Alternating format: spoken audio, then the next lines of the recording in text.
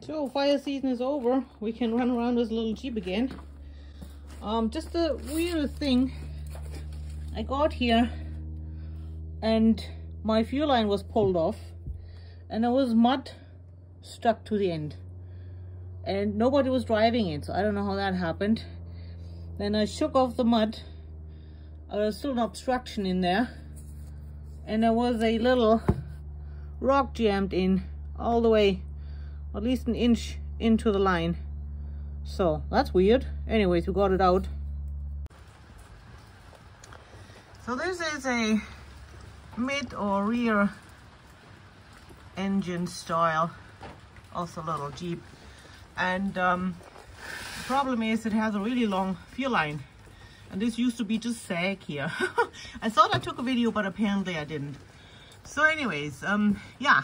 Now we tied it up and um, it's not sagging anymore that will help but um, before it caused problems because um, there could be um, especially without any pumps or so any fuel pumps there could be a lack in the fuel transport going downhill and you have stalling happening. That happened to me quite a lot. One of the problems. Fixed now. The stalling.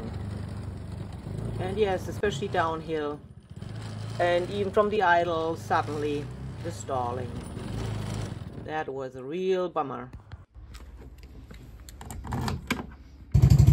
Not anymore though. So, we finally think we got it fixed as you can hear here this is no choke anymore this new carburetor and even in the idle there is no stalling even when cold um, that was very encouraging. And we're gonna take it for a spin in a moment.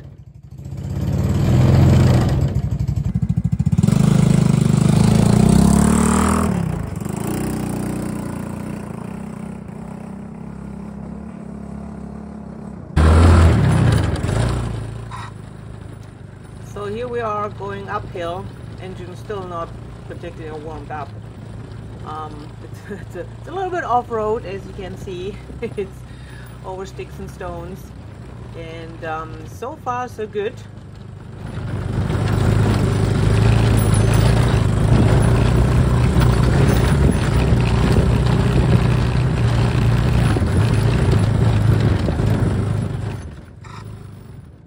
steep little knoll coming up here. Going up. Lots of power. Looks great. And here we are going down. And that's where the problems used to be. Going downhill, stalling, stalling, stalling. But this works a whole lot better.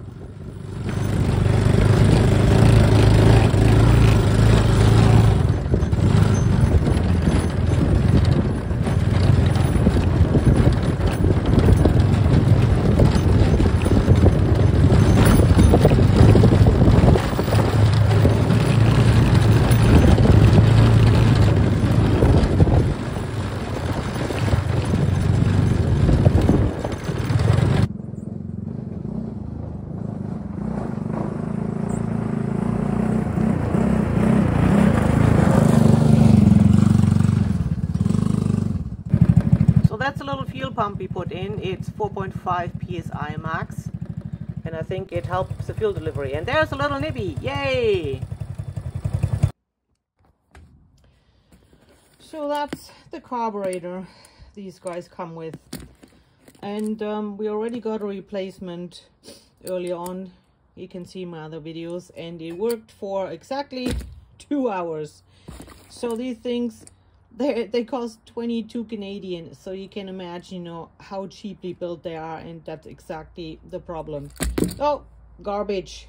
Get yourself a NIBBI and that's the other upgrade we did. We moved the battery up behind the driver's seat. So much easier to reach